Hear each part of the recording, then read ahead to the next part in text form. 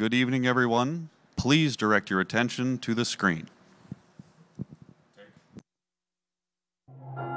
We'll never own up to our past.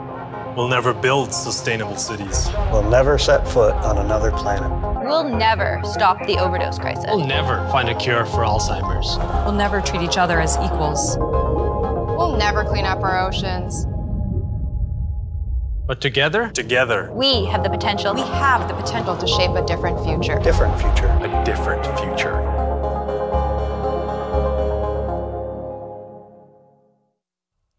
Welcome to UBC Connects. For today's event, we'll be using a web based platform called Slido. It lets you ask questions in real time.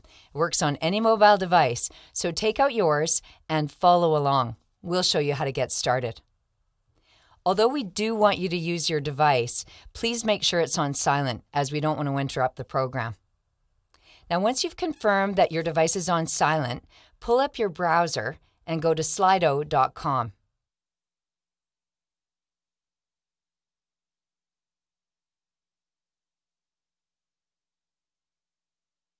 Now enter the event code UBC Connects. You'll see the hashtag symbol is already populated. All you need to do is enter UBC Connects, all one word.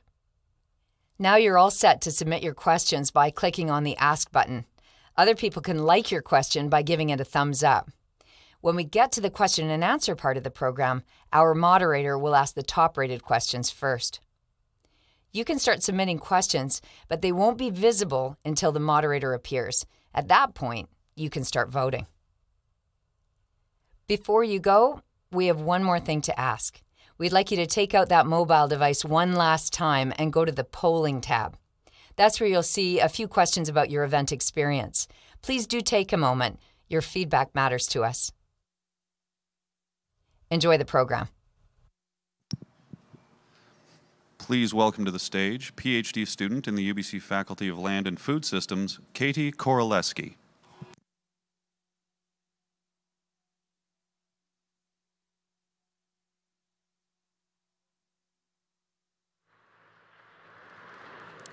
Good evening. My name is Katie Koroleski, and I am a PhD student in the Animal Welfare Program in the Faculty of Land and Food Systems at UBC. I am also the president of the faculty's Graduate Student Council. It is my pleasure to welcome everyone here this evening. We're thrilled so many of you have joined us here tonight, in the room as well as online, for the fifth installment of the UBC Connect series. In a few minutes, Professor Ono will tell you more about this series. But first and foremost, I would like to acknowledge that we are gathered today on the traditional, ancestral, and unceded territory of the Musqueam, Squamish, and Tsleil-Waututh peoples. You may have noticed a couple of ballot boxes in the lobby before you entered the theater. We are doing a giveaway of two tickets to each UBC's Connects event for Vancouver in 2019. So be sure to enter for a chance to win guaranteed seats at these events. The winner will be drawn tomorrow and contacted by email. Tonight, we will hear Michael Pollan in conversation with two UBC moderators. In the second half of our program, we will continue the discussion with questions for Michael Pollan from the audience. Earlier today, I had the privilege of moderating a student event at UBC with Michael Pollan, where students could ask questions and discuss together. It was a wonderful opportunity and one of the things that Michael discussed that resonated with me is that there are different ways of knowing the world through science, but also through our experiences. As you just saw, for the audience Q&A, we'll be using an online audience engagement platform called Slido to include everyone in the conversation, even those of you at home can participate. As a reminder, you are able to submit questions now, and throughout the first portion of the program, the in conversation, but we're going to hold off on posting the questions that you submit for all to see until the second half of our program. At that time, you will be able to begin voting on all submitted questions. Tonight's program is being live streamed for those who could not be with us in person. In the coming days, an audio podcast, as well as a video of the program, will be posted on the event website at www.ubc.ca slash ubcconnects so you can revisit or also share with friends and family. If you would like to tweet during the program, please use the at UBC and hashtag UBC Connects. Now, let's get started. It is my pleasure to tell you a bit about Professor Santa J. Ono before I invite him on the stage to say a few words and introduce our honored guest. Professor Ono earned his BA in bi- biological science at the University of Chicago and his PhD in experimental medicine at McGill University. His principal research interests focus on the immune system and eye disease. Early in his career, Professor Ono held a variety of teaching, research, and administrative positions at the Johns Hopkins School of Medicine, Harvard Medical School, University College London, Emory University, and finally at the University of Cincinnati, where he served as president starting in 2012. In 2015, Inside Higher Education named Professor Ono one of America's most notable uni- university presidents. He is now the 15th president and vice chancellor of the University of British Columbia and the host of this new public lecture series. Please join me in welcoming Professor Ono to the stage.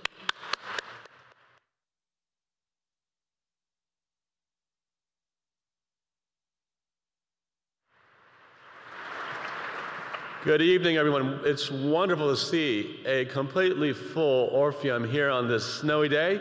Thank you very much uh, for joining us here. Thank you, Katie. Uh, welcome to UBC Connects. It's great to welcome you to the very first UBC Connects uh, seminar series seminar of 2019.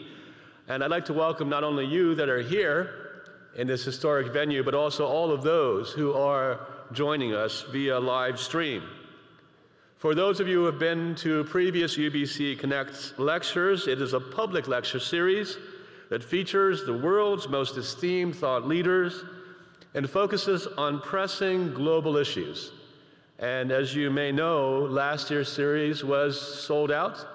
Often these uh, lectures are sold out within an hour after they're announced. So pay attention because I'm going to tell you a little bit about some of the uh, lectures that will be in the 2019 series. I'd like to recognize and thank our colleagues at Alumni UBC for their support of the series and the Georgia Straits, our media partner for this event, and the British Columbia Center on Substance Use and the UBC Faculty of Land and Food Systems for their support and sponsorship of tonight's event. We're delighted to have another sold out evening in our largest venue yet and I am delighted to note that next month, the UBC Connect series is coming to the UBC Okanagan campus in Kelowna. Civil rights activist Tarana Burke will be discussing the hashtag MeToo movement and the role of empathy in healing and change. Don't wait to get your tickets to see our next speaker here in Vancouver, award winning Nigerian author Chimamanda Ngozi Adichie at the Chan Center for the Performing Arts on March 13th, 2019. You can visit the website ubc.ca backslash UBC Connects for more information on these and future speakers in this series. For those of you who have attended UBC Connects before, tonight's format is a little different. This evening, our speaker, Michael Pollan, will be joined in conversation with two UBC professors. Before I introduce Mr. Pollan, I would like to invite our moderators one at a time to the stage. The first is the beloved Dean of UBC's Faculty of Land and Food Systems in his characteristic shorts, and you'll see that when it comes out. Rickey Yada is a professor and dean. His research focus is in food science, very apropos for today's talk, and he brings broad experience in multidisciplinary settings through his involvement in the Networks of Excellence in Advanced Foods and Materials Network, the International Union of Food Science and Technology, and the Arrell Food Institute, as well as being the North American editor for Trends in Food Science and Technology. Let's hear it for Dean Yada.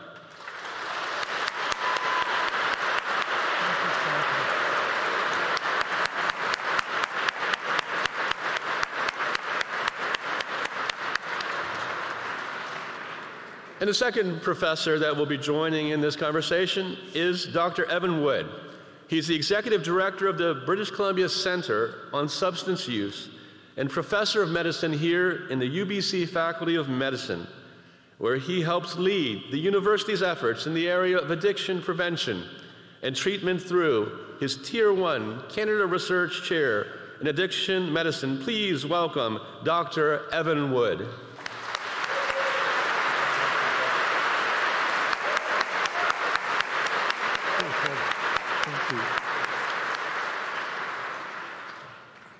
Now, a few words about uh, Michael Pollan. As many of you know, he's a contributing writer to the New York Times Magazine. He's been doing that since 1987.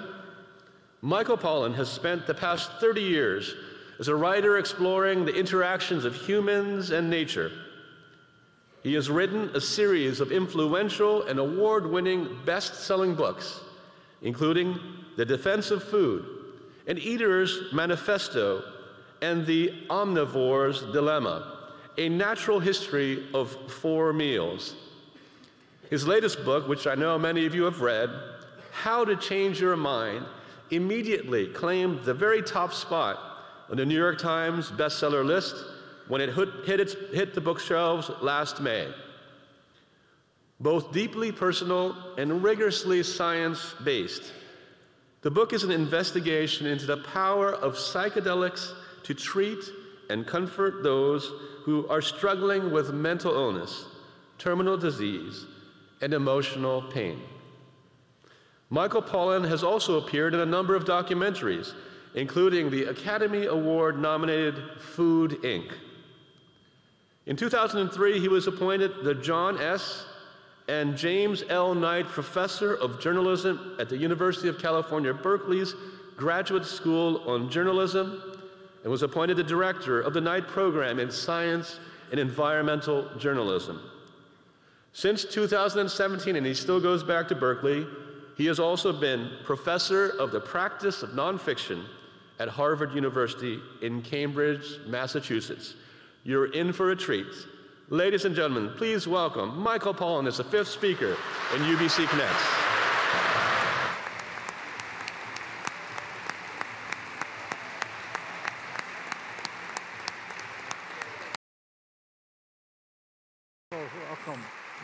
you so much. Thank you for that warm welcome. I feel like the two sides of my brain are represented right in right here.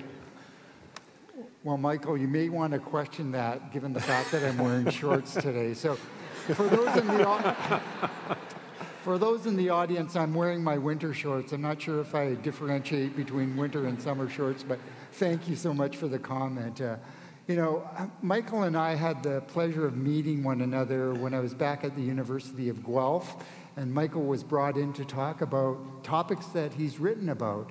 And so, Michael, thank you for continuing that journey. And so, it's such a pleasure to have you back here at UBC. Thank you, Rickey. And the other thing that I'll just mention to the audience that Michael's familiar with UBC. Uh, probably about 10 years ago, uh, Michael came out to UBC and visited the UBC farm, and many of you in the audience were strong supporters of saving the UBC farm, so thank you very much.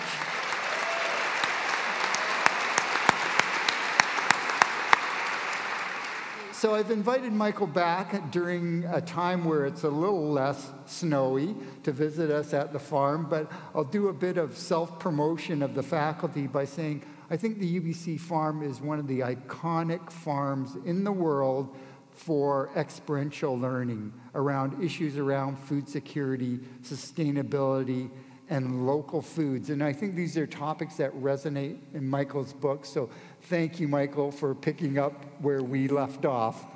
So let's start the questioning. And, you know, I had the opportunity to uh, have lunch with Michael, and I said, you know, maybe we'll have a conversation about some of the issues. And so, Michael, I'm going to start off by talking about the food guide. So, Canada recently uh, launched its food guide, and many jurisdictions around the world have food guides. But there are challenges with regards to food guides. Many of us who are Canadian were taught about the food guide when we were in elementary school, but as adults, we forget some of that. But there's also challenges with regards to accessibility of local foods, pricing of food, and there's those kind of issues. So, Michael, should we have food guides at all?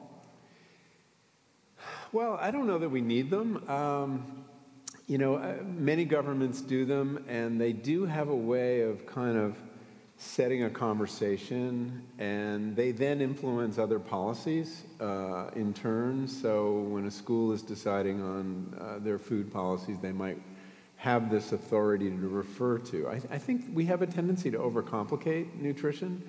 Um, you know, for, for one of my books, uh, In Defense of Food, I, I, set out to answer a very simple question, which is what should people eat for their health? And I, and I plowed through uh, nutrition science for um, a couple of years, and, um, and I was uh, embarrassed how simple the answer to that question was. Um, and uh, I gave it away in the very first sentence of this book uh, eat food, not too much, mostly plants.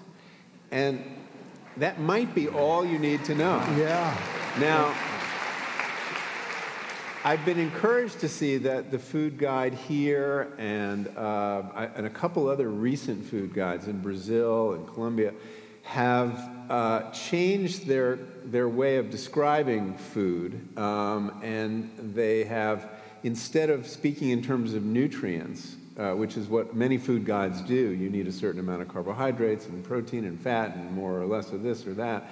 They're actually talking about food, um, which to the scientist is a kind of vague construct, um, uh, but to human beings, no problem.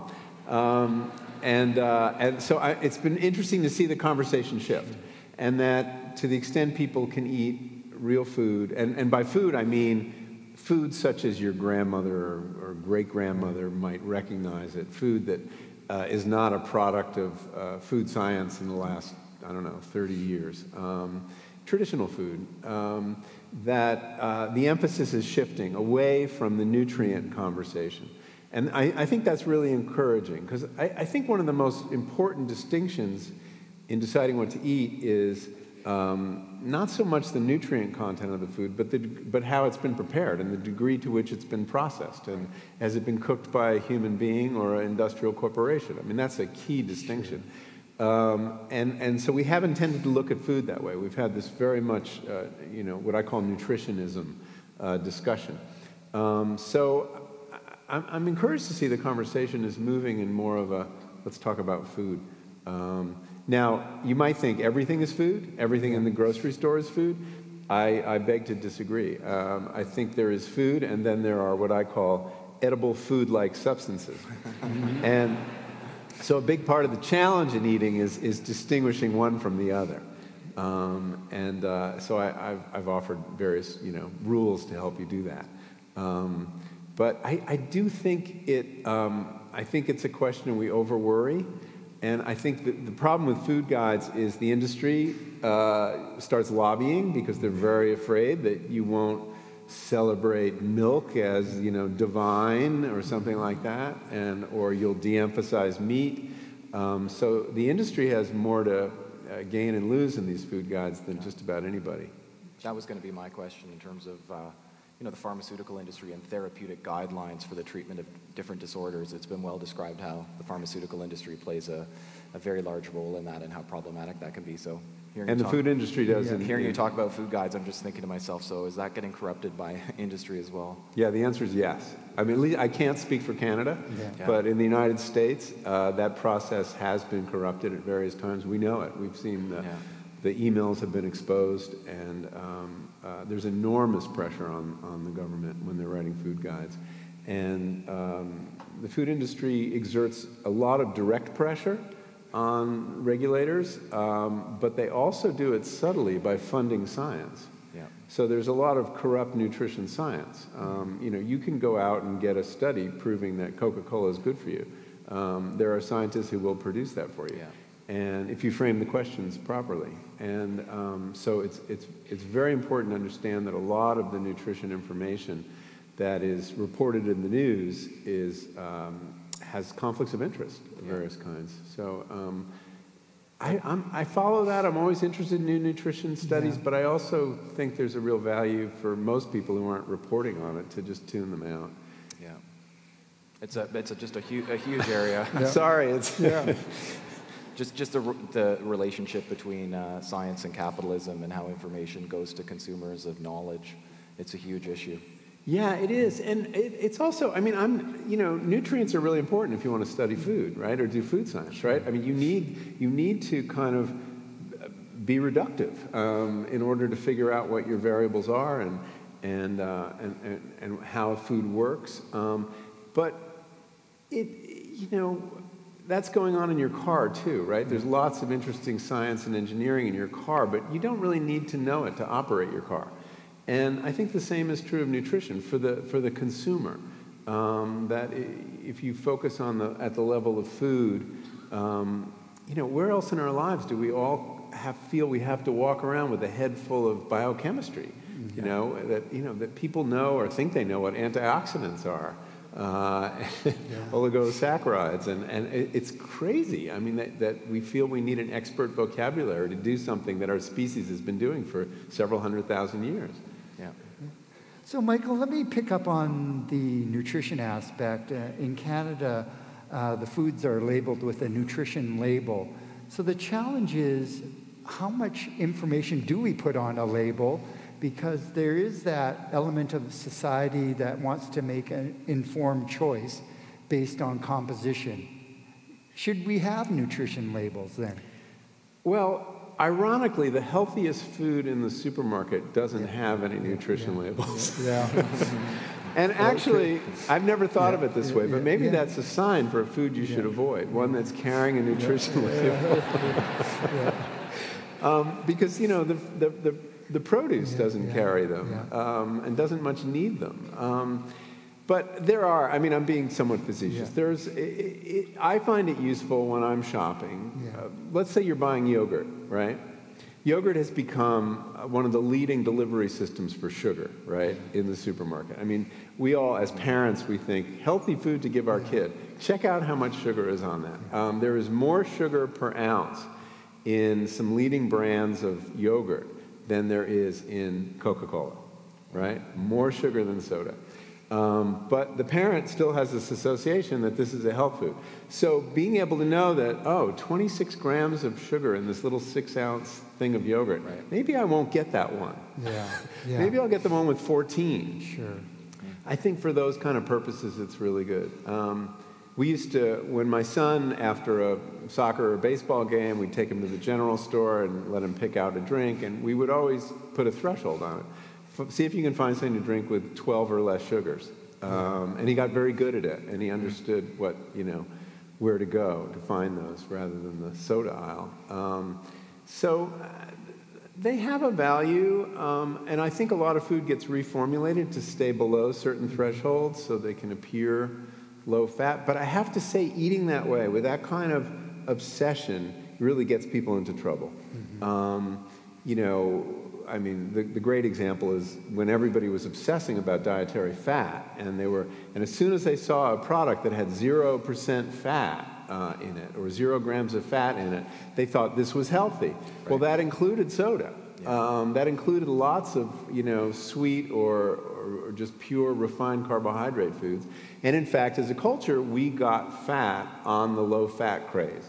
Um, that should tell you all you need to know.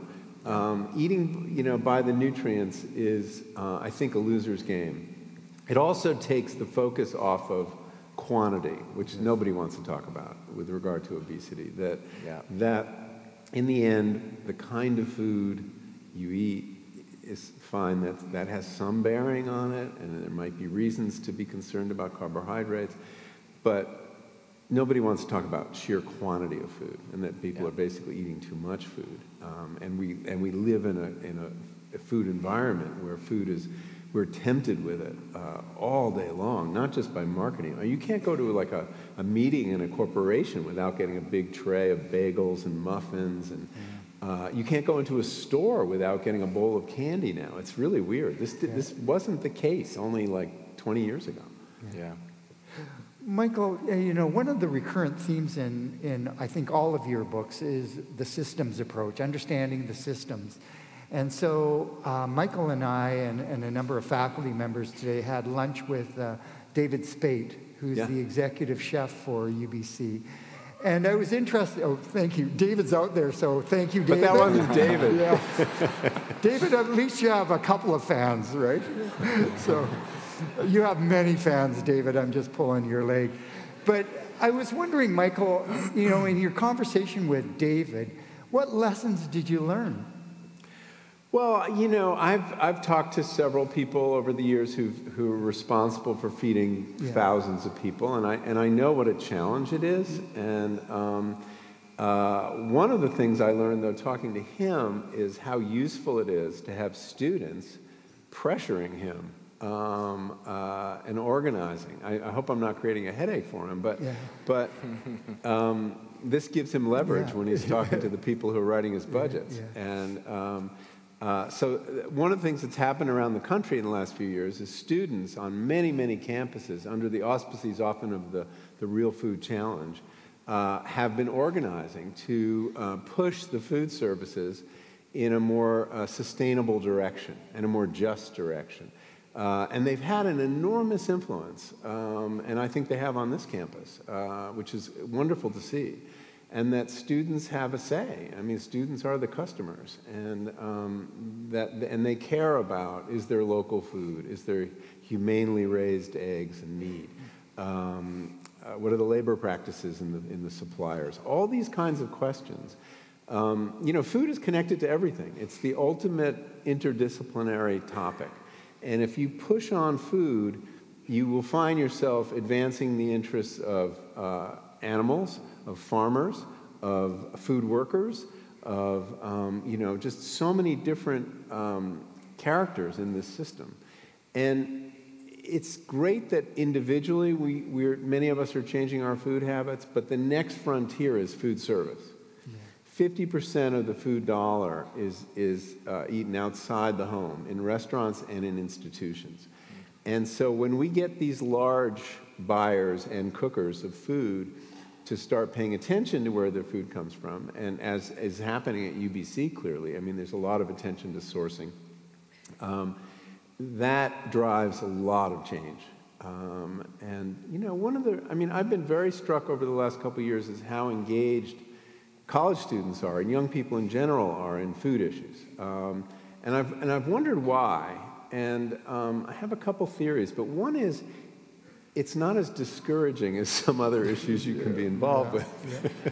I'm thinking about climate, um, you know, and that here in food there is something you can do today. You know, you get three votes every day, and we see positive change happening in the food system. Um, we see the rise of organic agriculture. We see the, the renaissance of local agriculture. We see um, pastured livestock, uh, you know, reasserting itself. And, and this has all been driven by enlightened consumers. And, um, and to use the word consumer is to minimize, because they're consumers slash citizens. Many people are making a choice not just based on their own narrow self interest, mm. what's the cheapest calorie I can buy, but a more citizenly uh, view of that decision. That I'm going to support this kind of agriculture, even though this costs a little bit more. For the people who can. Not everybody can afford to vote with their fork.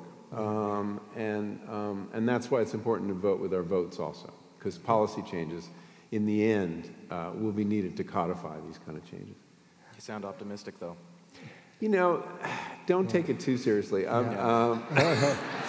Because I'm not that optimistic. This, the student piece, I get. Yeah. I think there's, it, you know, there, you see you see young people looking at food packaging and environmental issues, and it's connected. And you see young people doing that. But um, whenever I see someone who's very optimistic about these types of things, I tune in because uh, you know I, am, I gravitate well, to a less optimistic. You don't know me well enough. I'm just temperamentally an optimist, so that that infects my thinking to some extent. Yeah. Um, I mean, no, we have seen some positive change. We have also. Uh, you know, there's so far we have to go with the food system. But I also see some important drivers that didn't exist 20 or 30 years ago.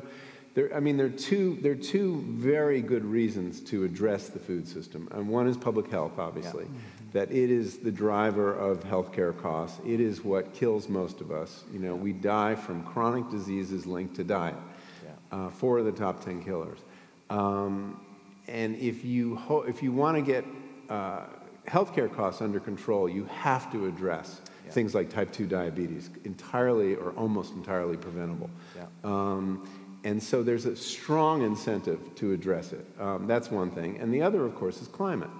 Um, and I think we're seeing increasingly that the conversation about dealing with climate is extending beyond electricity generation and transportation fuels, fossil fuels basically, to the recognition that the food system is, uh, is a, a, very important driver of, of climate change uh, at many, many different levels. You have um, uh, deforestation and plowing by itself puts tons of carbon in the air, literally. Yeah.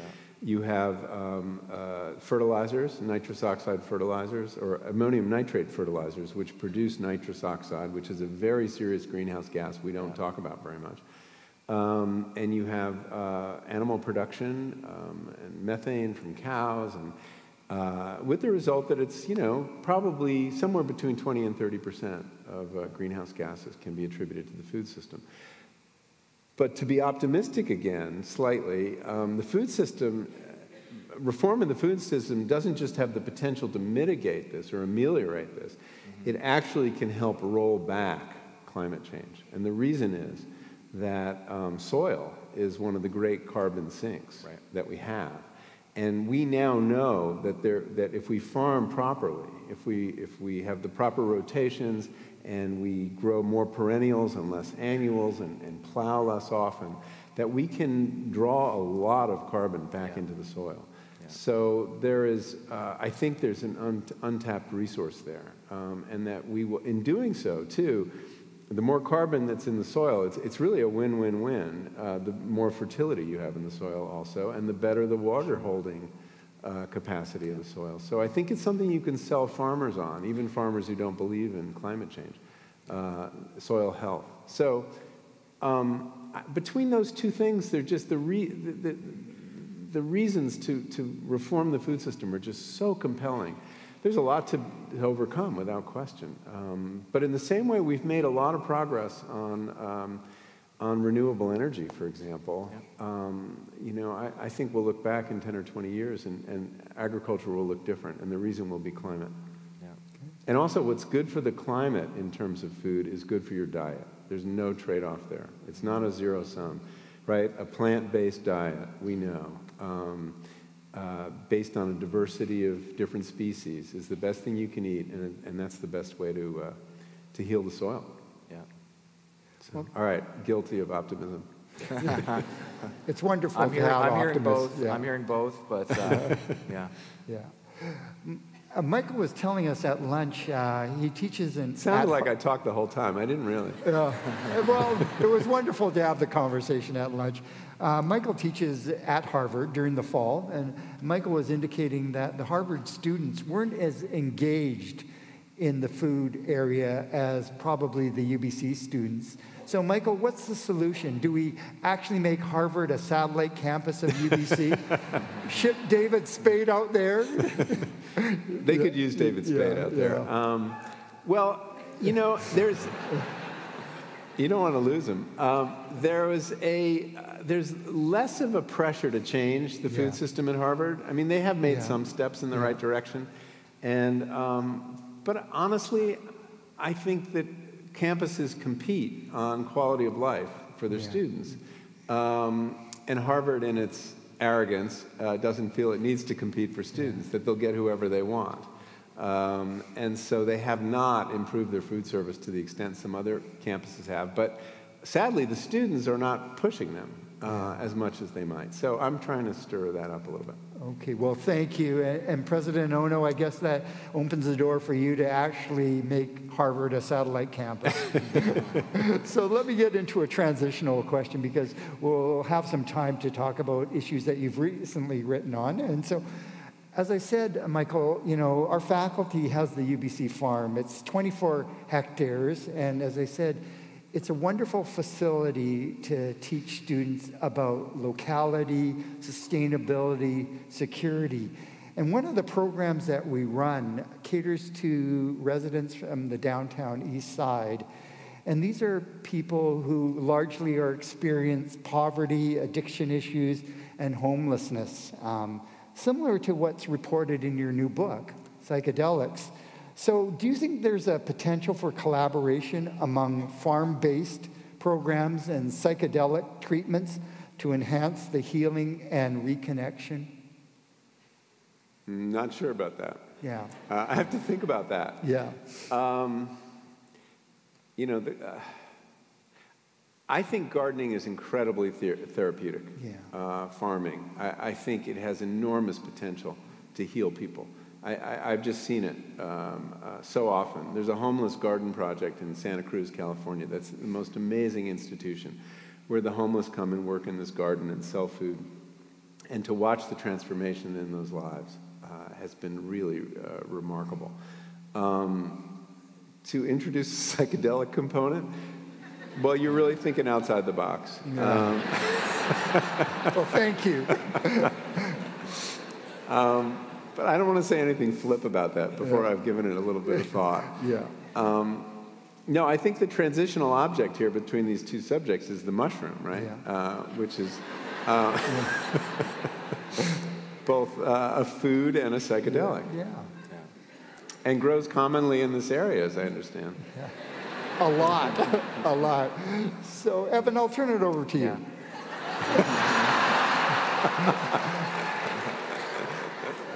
Yeah, I am. Uh, we, we talked briefly uh, earlier today, and I mentioned how um, your book, uh, How to Change Your Mind, is, is really, you know, obviously a play on words, and then, and then how people are changing their minds.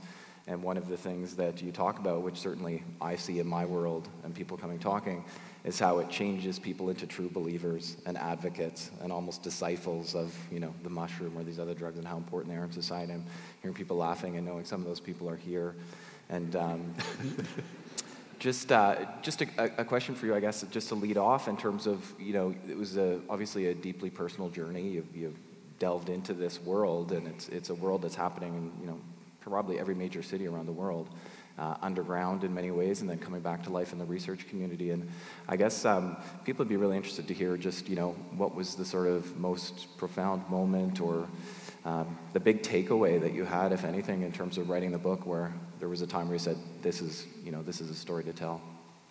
Yeah, uh, I, you know, I didn't. it, it is uh, well. You, you, there's a few questions in that buried in that question. One is the tendency of people involved in this research to become very evangelical about it. Yeah. Um, it's a powerful experience, and many people come out of it uh, convinced that they have found the key to the universe.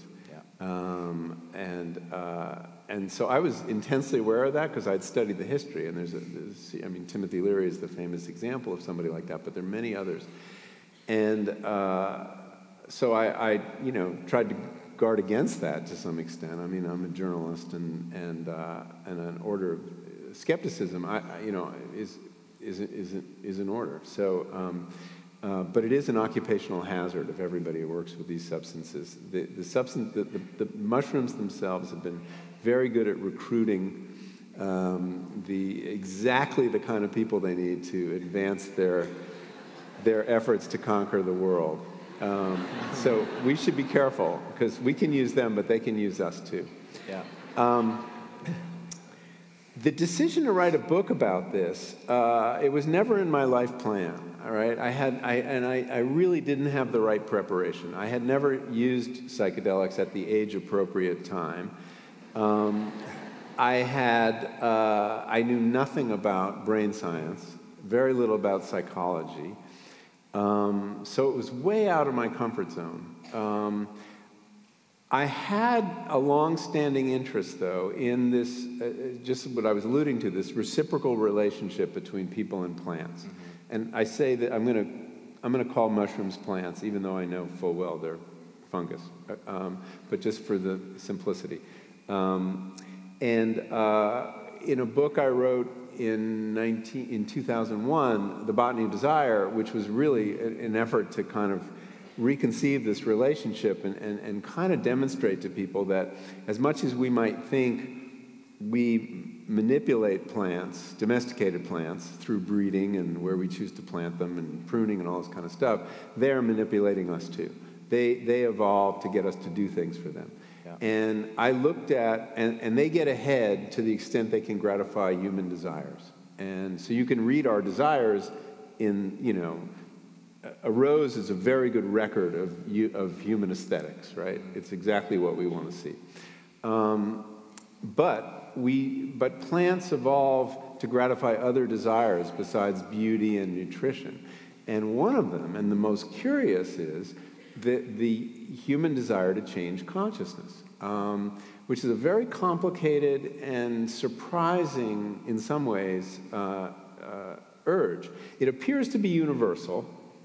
The only um, case, uh, and I'm, I'm, citing Andrew Weil here in, in uh, The Natural Mind, which is a very good book about drugs.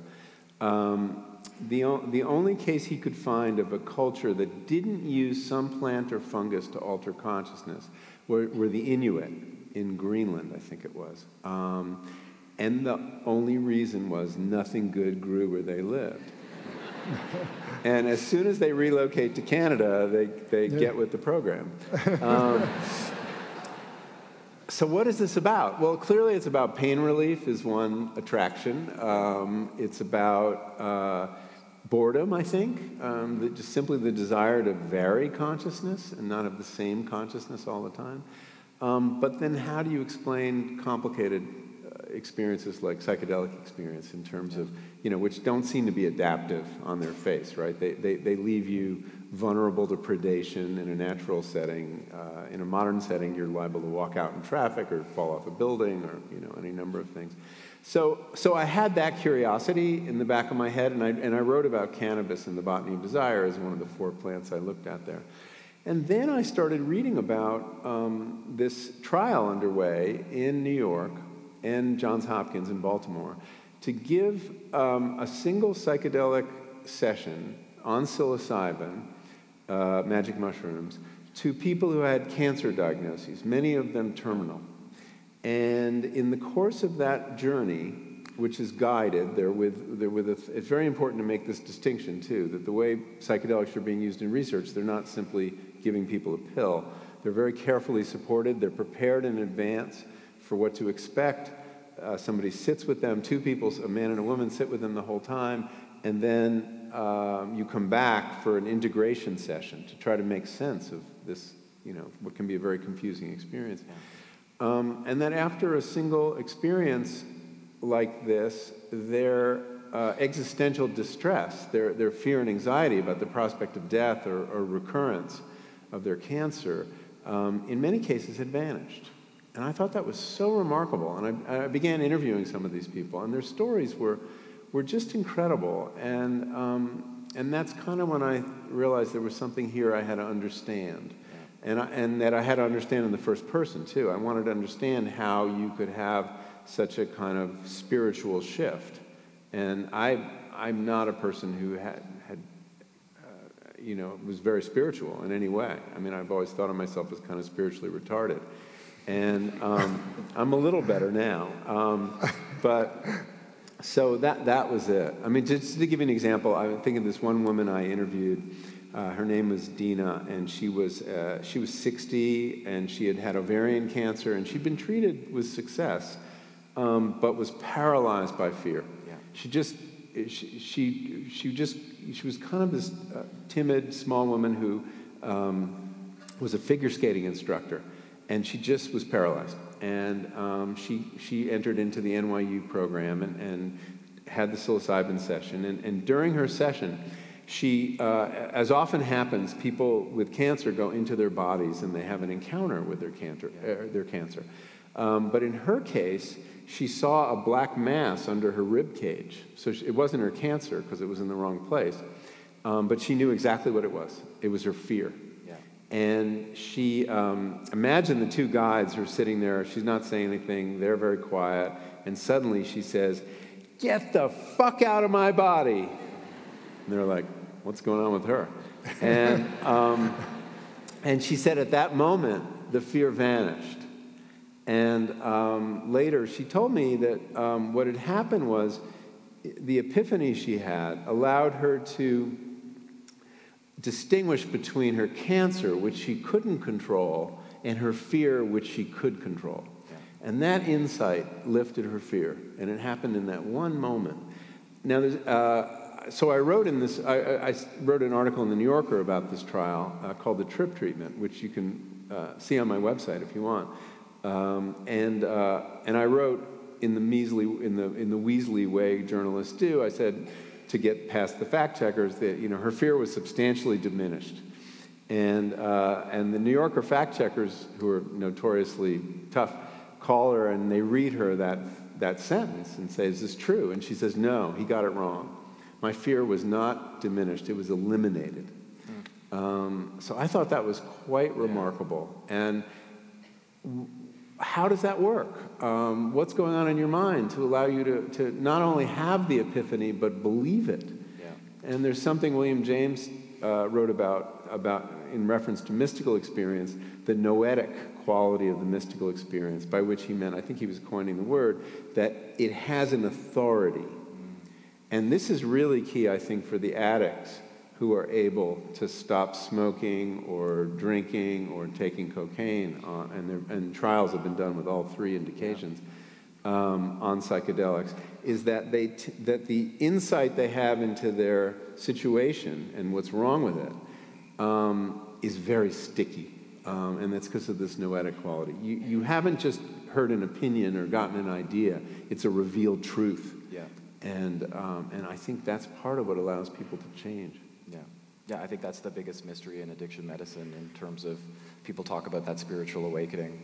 And I see them in clinic and I'm looking at them and I'm thinking, you're in remission. Like you're, you're, you're, you probably have the same risk of going back to drinking or whatever it may be as anyone else. And you know, however yeah. we try through cognitive behavioral therapy and motivational interviewing and all these other techniques to try and bring about that spiritual awakening in people is so difficult. And um, th- that's what the research obviously is, is showing. It's um, yeah, it's well, really of course compelling. that's at the basis of AA, Yeah. Alcoholics Anonymous. Exactly. This Mhm. idea that you uh, you had to have a shift in your understanding of your ego, yourself, Yeah. and a higher power. And I always thought that was kind of a Christianity being smuggled into this, you know, self-help program. But it's much Yeah. more profound than that, actually, Yeah. because there is a displacement of the ego that has to happen. Um, and uh, uh, and of course the DTs, the whole the whole theory that people had to go through the DTs, delirium tremens, to get sober, and and they had a, essentially a conversion experience, but they really had to go through agony first. Um, and the original theory, when they started giving LSD to alcoholics in the 50s, because this research has been going on a lot longer than I think most people realize, um, uh, was that oh, the, this, we're simulating the DTs, and then they talk to people and say, well, actually, it doesn't feel that bad. Um, and so it's something different. But the spiritual component, I think, it's a, spi- it's a kind of spiritual therapy, which I know is anathema to scientists, but um, uh, the spiritual experience seems to be very central to what happens. And if you can bring that about, yeah. I think we're, we're a little tight for time here, but people will be uh, upset with me if I, if I don't ask you the question. Um, you've, you've probably seen, and I've certainly heard my colleague from the UK, David Nutt, say that you know the banning of psychedelics was like uh, if we banned the telescope in astronomy and tried to figure out the universe, and you know banning psychedelics uh, when was done by government and putting this government to a halt has kind of held us back to this you know Yeah. transformative Oh, we've opportunity. lost 30 years. And, and, and do you think that, that there's that kind of massive incremental gain to be made through, through this research? And Well, you know, and, uh, David is drawing on a famous quote by Stanislav Grof, the psychedelic psychiatrist who did a lot of pioneering work in the 60s and 70s. And he said that, the, that LSD would be for the study of the mind what the telescope was for astronomy, or the microscope was for biology. I mean, a very bold, uh, audacious claim, which I thought was insane when I first heard it, frankly. Um, I no longer think it's insane. I think it's still audacious, but I think there is a lot to be learned, and and already we're learning it. I mean, these are these are powerful tools, not just of therapy, but to understand consciousness. Yeah. And um, so I think that they were onto something. And the fact that we banned them uh, and research stopped uh, in the late 60s, early 70s, um, and was only just resumed, um, you know, recently. I, I think, yeah, I, I, I, you know, think what we might know now.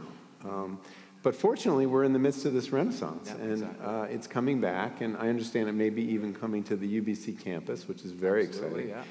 And that there, there, there are uh, experiments being designed to uh, test psilocybin on, um, on addicts of various kinds and uh, use MDMA to treat trauma. I think that's all very exciting.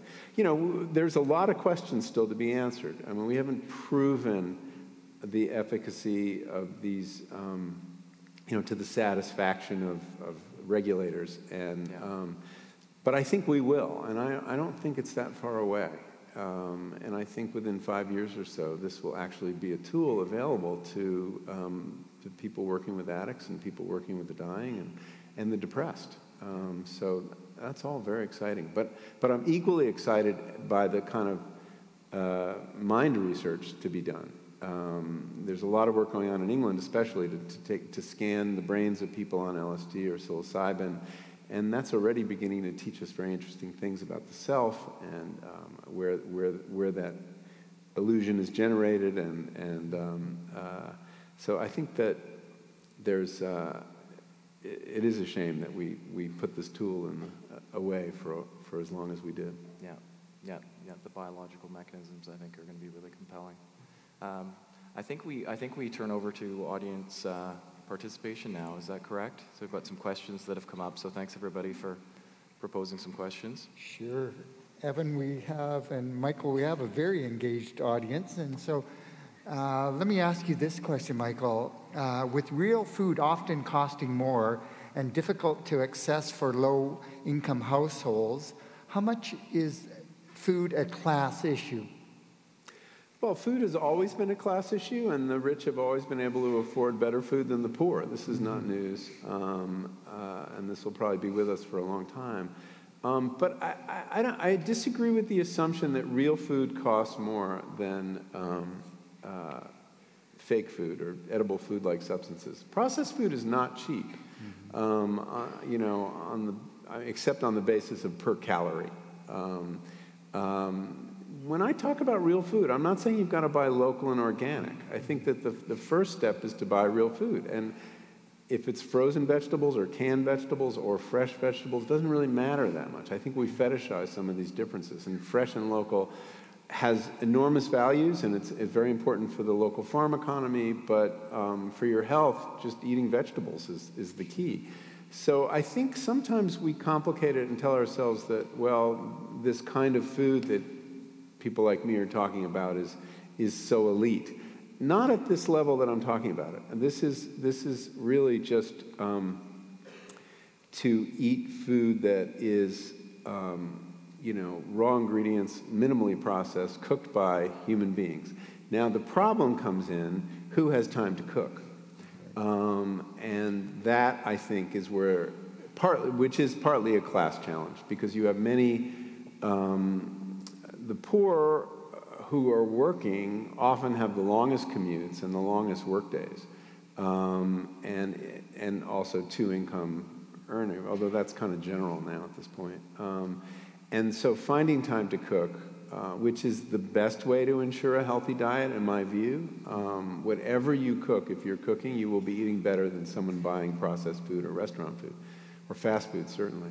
Um, so it's the time cost of food, not, the, not necessarily the, the store cost of food, that gets us into that, that difficulty. Uh, and, and of course, there, there, I mean, so you can't solve food without solving for the whole economy. You know, finally, I mean, you, you want to create a world where people don't have to work too long, that they can't get home in time to cook a meal. You want to create a world where everybody can afford organic food. Um, but that's going to that's going to involve changing a lot of different things. But at this basic level, um, there are plenty of real foods that can be cooked very simply in 15, 20 minutes. And I think part of our problem is we have complicated cooking in our culture. Um, we've turned cooking into a spectator sport you watch on television. And that kind of cooking is very intimidating. Um, you know, you know these guys and, and, and women with the, the knives flashing and going so fast you'd cut your fingers off and, and fountains of flame and, and there's a clock ticking down and that's not really cooking. That's something else. Um, and it, you know, the goal of television is always the same, which is to pin you to the couch and make you watch more television, right? Yeah. And cooking shows definitely do that. And um, so I think we've overcomplicated cooking and that they're very simple things to cook that you can do in 15, 20 minutes that everybody should be able to do. Um, so anyway, I, yeah, there's a class element, but sometimes that is used to um, uh, just say, I can't do it. Um, and, I, you know, I think that we're going to have to fix our diet before we can fix the whole economy. Well, too bad David's not up here. Uh, and uh, I'm not working for David, by the way. oh, I'm a big fan of David, but you know, I think David's philosophy, David, I hope I'm not getting this wrong, is there's beauty in simplicity. Yeah. Yeah. So well, certainly the yeah. better, you know, the fresher the ingredients, the yeah. less technique you need. Yeah. I mean, that was Alice Waters' great teaching, right? I mean, that, that great cooking begins with great farming. And when the farmers do a good job, uh, the cook doesn't have to do much work. Uh, you can simply, you know, put those vegetables on a sheet, sheet pan, spray them with olive oil, a little salt and pepper, and roast them, and you're good to go. Um, that doesn't take a lot of skill or a lot of time. Well, thank you, Michael. Evan? Uh, the next question here is about um, microdosing and then uh, benefits with cognition and creativity, and obviously in the information technology sector, that's you know taken off. And yeah, where so I live, everybody's microdosing. Yeah. Um, so microdosing is the taking of uh, a tenth of a normal dose of LSD or psilocybin, usually once every three or four days. Um, it's supposed to be sub-perceptual, um, so you're not you're not noticing any changes in perception. Supposedly, you can go to work, you can drive your car, and all this kind of stuff. And it, it's supposed to function as kind of a brain vitamin. Um, there's no evidence. There's no uh, scientific evidence that it works um, yet. Um, there hasn't been a lot of research. There, uh, there's a lot of anecdotal evidence, um, but I think we have to be really alert to the fact that, especially when it comes to psychedelics, the placebo effect is incredibly Tremendous, powerful. Yeah. Um, there's such a mystique around these molecules that um, uh, people, you know, attribute lots of changes that may, may not all belong to the molecule. Um, and so I await you know, more evidence. There is a company that recently completed a microdosing trial, but they haven't published the results yet in England. Um, so I'm really curious about that. Um, I know lots of people who swear by it, um, whether to relieve depression or anxiety or uh, enhance creativity um, or um, uh, productivity. Um, the whole idea I, I, I kind of chuckle at. I mean, here are these drugs that are so powerfully transformative and disruptive. Um, and indeed disrupted our society in the 1960s in ways you can decide are good or bad. I mean, I tend to think on balance it was actually good. Um, and here we're turning them into another productivity drug. Yeah. You know, I mean, if you want to reconcile capitalism to uh, psychedelics, microdosing is the ticket. yeah, I, I think it, it is the one area that, you know, there just isn't the research there. And I think if there was any, it, it very much lends itself to a placebo-controlled trial because yeah. you, you won't know. And I think if there's anywhere that there might be a disappointment in this area of research for advocates is that the microdosing piece where um, it may be uh, not the same as, uh, as actually yeah. having that profound mystical experience and having it uh, make changes. But um, we could yeah. be proven wrong. Well, I, you know, I, and I would, you know, be happy to be proven wrong about it. But um, uh, so we should know pretty soon. Um, but I didn't spend a lot of time on it in the book because in the book I really did want to stick to the things that we had some, you know, real body of research to yeah. support. Um, so I, I, didn't give them. And there's a very good book about microdosing that came out last two years ago by Ayelet Waldman called A Really Good Day. So I figured, okay, that's her. She's got that. Yeah. Great.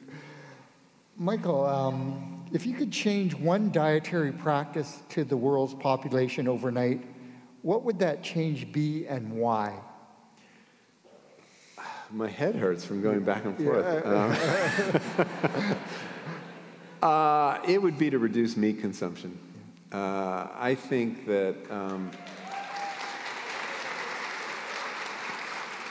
as much as I love to eat beef, um, uh, you know, um, as somebody put it to me recently, cows are the new coal. And um, uh, there, we simply cannot uh, continue down this path. Um, uh, cattle, both for dairy and for meat, contribute mightily to climate change. And you can mitigate it to some extent by the way you grow them and whether they're on grass or you know, on corn. Um, but uh, I think it was the World Watch Institute a couple years ago um, did a study that if the population of China decided to eat meat at the rates that North Americans do, which is nine ounces per person per day, I mean, more than half a pound, right? I mean, think about it. We're eating meat three meals a day, many of us. Um, if China chose to do that, we'd have to have 2.3 more worlds to grow all the grain you would need to feed all those animals. Um, simply can't do that. Um, so those of us in the, in the developed world who are eating that kind of levels of meat need to eat less. Um, and, and the shift to a plant-based diet or a more plant-based diet is really imperative. So yeah, that would be the, the I think the first change that I would uh, legislate if I could. Great, thank you. The thing I think that brings these conversations together a little bit is what um, you know people that have done LSD you know tell me is the one thing that you commonly hear is that if people realize that everything is connected. Yes. And you know, every, I realized the roots went down and they came up over there, and I was connected to that animal or that person. And, and um, you know, and it's true. Everything is connected. Yeah. And and the connect one connection too, important connection, at least in terms of how I think about it, is health. Yeah. Um, you know, a lot of my work about food was looking at environmental health, health yeah. of the body, and this new work is about mental health. Yeah. And as you well know, mental health and physical health are closely totally connected. So yeah, absolutely. The the next question um, was about bad trips and just sort of uh, what about bad trips? Uh, and uh, do you want me to tell you one? Because I had one. Um, well, bad trips are real. Um, bad trips happen. And I mean, we, I, am glad you brought up risk because I, I, think it's very important to talk about risk. And it's yeah. very hard for people to listen to someone talking casually about psychedelics and therapy yeah. without, like, wait, well, don't people stare at the sun till they go blind? And doesn't it scramble your chromosomes? Which were stories I heard growing up and believed. Um, so, risk. There, there, there are three ways, three dimensions to it. One is the classic psychedelics, LSD, psilocybin, DMT, are um, remarkably non toxic. Yeah. Um, that there are many drugs in your medicine cabinet that are more toxic that you bought over the counter, things like Tylenol yeah. compared to LSD, which is, I was amazed at this fact. There's no lethal dose that has been found. Um, uh, and they're non addictive, uh, they're not habit forming. Um, your first thought after a, a, a major psychedelic experience is, I've got to do that again. No, that's not your thought. It's, do I ever have to do that again? Um, but there are psychological risks, and uh, the bad trip can lead to uh, panic attacks, and does. Um, those panic, panic, attacks are sometimes misdiagnosed by psychiatrists as psychotic breaks, or were yeah. in the 60s. Yeah. But there have been psychotic breaks on psychedelics. This does happen. Would people have had them anyway? Probably. These are people yeah. at risk for schizophrenia. Um, but the bad trip is real. Um, I think in, it's often a product of um, bad set and setting. I mean, these were the terms that Leary invented, uh, came up with, um, which is to say that unlike many other drug experiences, what happens on a psychedelic is, is incredibly variable. Mm. You know, cocaine or opiates, you can kind of predict the phenomenology and it'll be pretty consistent over large groups of people, but not so with um, psychedelics. And they're very much the product of the set, which is to say your mindset, and the setting, the, the environment in which you're in. And so if you're not in a safe place, uh, and you don't feel that you're uh, in a safe place, you're, when you, if you take a big dose and you start feeling the dissolution of your sense of self and your ego bursts into flames um, or whatever, um, that can be terrifying. Yeah. You will struggle to hold on to it. Yeah. Um, you will not be able to surrender it. Um, and that's, that can be the difference between a good trip and a bad trip. The ability to surrender, I think, is the most important predictor of a good trip. Um, and, uh, uh, it, you know, based on my own experience and the, and the guides I've talked to. And, that, and that's a big part of what the preparation is. Yeah. So um, uh, it's very interesting, too, what, it, what do we mean by bad trip? Mm. In, a, in a clinical situation, when you're with a guide who is experienced, they, they won't use the term bad trip. They'll say a challenging trip. Um, because very often that horrific imagery you saw or that re experiencing of childhood trauma um, therapeutically is incredibly productive Yeah. um, if you can integrate it and process it. If you have that experience and you're at a concert and you're getting in touch with some childhood trauma, yeah, that's, that's not going to be Yeah. pretty. Um, Yeah. and, and that's, a, that's a strong argument for doing psychedelics in this container of, of the guide. Um, but um, I, I think that's reassuring for people conducting the research to be able to tell people that you know you may have a challenging experience, but the research does show, and I'm sure you learned Yeah. that from the Hopkins group, that the depth of the, the mystical experience is actually those people tend to do better. Yeah. So um, if you can tell people that first, that uh, Yeah, you know, there's if you a value. just you know you have a easy No time pain, and no it's no problem. yeah. Yeah, it seems like that at least with psilocybin, that uh, the depth of that experience. Yeah, is I mean, really many impactful. people have. I mean, when when you actually are talking about specific trips, bad is just not a very useful adjective because there are periods, and even a, what I remember as a very um, uh, positive trip that were scary, terrifying, even. Um, you know, lots of death imagery and um, and this sense of ego dissolution. All these things. Um, that's why you need help. to go through them. Um, they are, you know, kind of rites of passage, and rites of passage have very difficult uh, parts. Yeah, Uh, exactly. if it was easy, it wouldn't wouldn't count for as much. yeah, those profound changes. Yeah. Yeah. Well, Michael, I love this question. When no one is looking, maybe they are looking, what's your What do I- go to snack?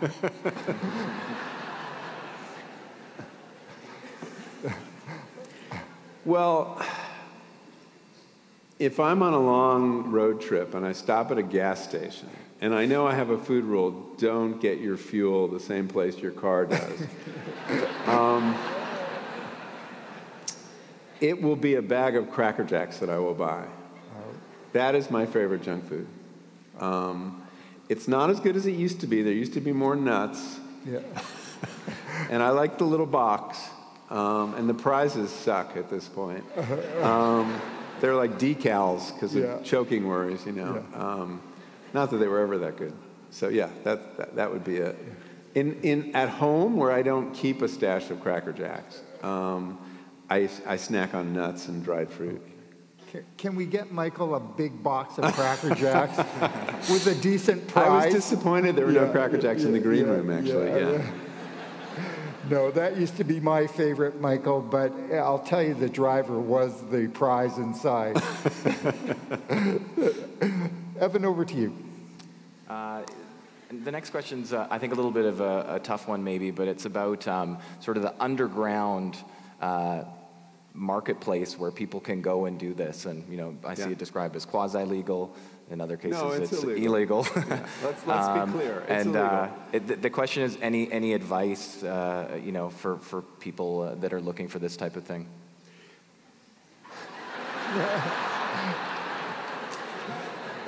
Um, you know, I have been asked. So, in, for, for the book, in case you haven't read or read, read about it, um, I, I wanted to have the kinds of experiences that the, that the people in the clinical trials were having. I could not get into those trials for various reasons, and um, so I had to go into the, into the, the underground. And there is a, uh, a network that's surprisingly um, uh, coherent, well organized, um, consistent of people um, who are, in many cases, uh, trained therapists, um, some of them MDs, some of them uh, psychologists, who are so convinced of the value of psychedelic therapy that, that they are willing to risk their license, their, their livelihood, and their freedom yeah. to administer it to people. Um, there is, uh, and I, I met a bunch of them. I interviewed them. I was very nervous about this. I was a very reluctant psychonaut. And so, um, and I met people I would not entrust my mind to. Um, and, but I finally found people I felt really, it's like interviewing a shrink. You have to have a, a, a fundamental sense of trust and confidence. And um, so, how do you find them? Um, you know, I've been asked literally hundreds of times for referrals since the book came out. It's been one of the most difficult things about the, the whole process because many of the people coming to me are really suffering. Um, or they know someone. They have a son who's suicidal, or, or the, a spouse that is an alcoholic, and, or someone who's dying, and this, maybe this will help. And, and I can't make referrals. Uh, it was just too dangerous um, to the guides. Um, uh, so I've been, and I've kind of kept my distance from the guides I work with because I don't, I don't want to get them, I don't want to jeopardize them. But I did, uh, on my website, there's a resources section, and I have a lot of uh, resources that might help you, um, find people. They're, they're, in a community like this, you would find people. I'm sure there are people. Um, I was just in um, Medellin, uh, Colombia last week, and I, I, was, somebody was asking me, so are there psychedelic therapists in Medellin? I was like, I don't know. And then one came up and introduced him to me, to himself yeah. to me, um, and there are. Um, yeah. So they're around. I think you have to ask around. You have to ask friends. You have to do, um, uh, you know, your due diligence. Interview people, um, and make sure that uh, you have a good feeling about them. Um, but the, the psychedelic therapists in, that I've met, you know, have a code of conduct that they all um, honor. Many of them have a sliding scale. Um, they're very ethical people. Um, they take medical questionnaires in advance. They disqualify you if you're taking certain meds that yeah. are counterindicated. So it was. I was surprised. You know, it's a more serious bunch of people than I thought. My concern, though, is um, in making some kind of blanket statement about them, is that I think they're going to. The demand is going to be such uh, for psychedelic therapy uh, because of people reading about the research, people reading my book, uh, the conversation going on in the culture, that there will be a lot of charlatans getting into this field. Right. And that people need to be particularly careful. Uh, how much experience does someone have? Who did they train with? Because many of them are actually getting trained in above ground uh, programs. Yeah. Um, and, uh, and be careful. Because there's a, there, there are risks here. I mean, and there's, there, there's a risk of sexual abuse in that relationship, I think, um, especially with MDMA therapy. Um, so, I, I, you know, I don't want to be overly evangelical about it. Right. Yeah, no, I think that's really thoughtful. Yeah. yeah. Evan, I see that we're probably running short of time. We could be here for a couple hours, I think. Yeah. So I'll turn it back over to you for concluding comments, I guess. I think for fairness and the interest, I think there's time for one more oh, question. Okay. So if you have one there, sure. I see the, the screen is full here, so we're not going to get to them all. So Let, Can we do a psychedelic question for the last one? Would that be all right with you guys? Yeah. Okay. Um, shall I take that? Oh, yeah, sure. Go ahead. Um, yeah, well, sorry to put you on the spot, no, but I just no. wanted a little fairness. But yeah. um, yeah, I guess I guess the question that I'm seeing, and, and, I think is in a lot of people's minds, is you know what's the barrier? What what what needs to be overcome to to bring this about? And I, I kind of have my own answer to that question from my observations, but I'm really curious yeah. to hear yours. Well, there's a couple things. Um, education, obviously. Um, there, people, you know, psychedelics are still stuck in the '60s, um, which is when most people think they began, and um, uh, and they acquired a reputation in the 60s that they're still stuck with. There's a, they're, they're, one of the reasons that the, the researchers that you know you presumably will work with psilocybin and not LSD is it's less controversial because yeah. less politicians have ever heard of it. Um, so there is still a danger of a backlash. Um, and so I think educating people about the, the, the real risks and, and the real rewards, um, and so we can kind of just kind of normalize them, that they're tools. They're not, um, they're tools, and, and like all tools, they have their benefits and they have their place, and, and maybe they have, you know, risks too, but is it worth, is it worth it? Um, the other thing is, though, uh, finishing this research, you know, taking this through, the, um, figuring out what are the best indications Yeah. um, to use them on, and doing uh, the research so far has really been small groups. I mean, you know, a phase two study might have uh, 40 people in it, um, and we need to trial it on hundreds of people. Um, and we need to figure out, there's still a lot we need to learn. Um, and uh, so I think that's the, I, I think if, if the research can be done and it can be funded, and that's another hurdle because governments, I don't know about Canada, um, but in America, in the United States, the government is not funding this and probably won't fund it. There's very little money for mental health funding. Um, maybe under the opiate crisis there might be some money, but, but basically it's all been privately funded. And that's really important that that private money step up to do this because the government won't do it. Um, so that's another hurdle. In the United States so far, the money has stepped up. Um, a lot of people in Silicon Valley have made big contributions very quietly to this research um, because they believe in it. They've had their own experiences. Um, and um, uh, yeah, I think so. I think you know, I think it's it's money and and and finishing the research project. Yeah, that that that was my observation from my international colleagues and uh, and certainly from the book is the you know in the IT sector and I think in microdosing and people kind of being turned on to this. But uh, it's just very unique in that um, you look at the U.S. National Institute on Drug Abuse in the States, the potential that we're all talking about here today, the opioid crisis, their budget is about $4 billion annually, Yeah. and they're not going near this. And it gets Yeah. back to the stigma like you're talking about and really the need for the philanthropic community to step up to see this through. Yeah. But there are also there are leaders in psychiatry that are are um, more open to this than I expected. I, I thought there'd be a lot of resistance in the psychiatric establishment, and in fact, with this New Yorker article, I'll end on this story. Um, uh, my the editor of the New Yorker, I handed in this piece, and it was a very positive piece about psychedelic therapy for the dying, and. Uh, I got a call from my editor um, uh, like three days before it's closing and going off to the printer saying, um, "Look, we really need a quote, uh, you know, from somebody a big shot who thinks this is all bullshit."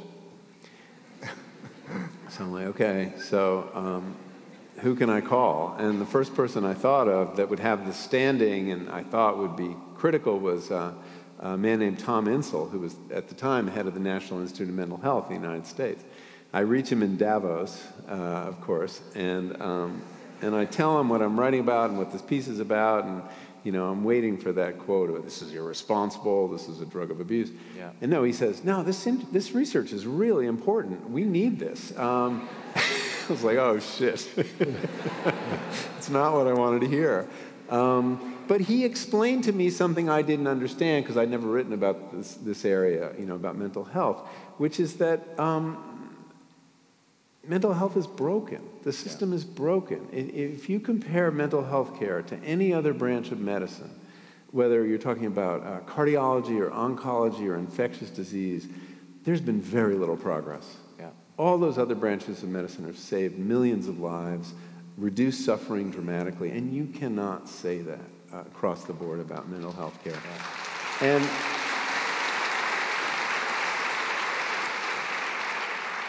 you know, the last big period of innovation was the, the antidepressants, SSRIs, right, which is the late 80s, early 90s. And um, very little since then has happened. And the SSRIs are, don't do it for lots of people, and people don't like taking them. And so the need for innovation, and this is part of what engages the Silicon Valley community too, um, there is a desperation in the field that I hadn't detected, and, and that gives me hope that they will listen and uh, if it proves out, if the science, if the evidence is there, that they will embrace it.